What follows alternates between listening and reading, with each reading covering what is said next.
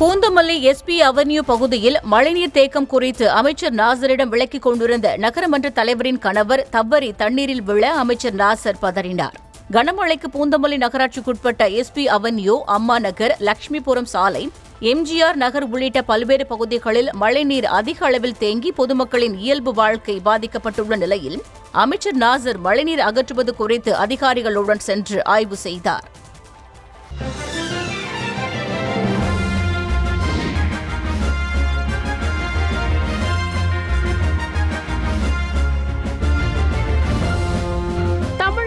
செய்திகளின் புதிய அடையாளமாக. உங்கள் காலை பொழுதின் புதிய அங்கமாக நியூஸ் தமிழ். செய்தி வழங்குவதில் உலக தரம். இணைந்திருங்கள். காலை ஆறு மணியிலிருந்து உங்கள் நியூஸ் தமிழோடு.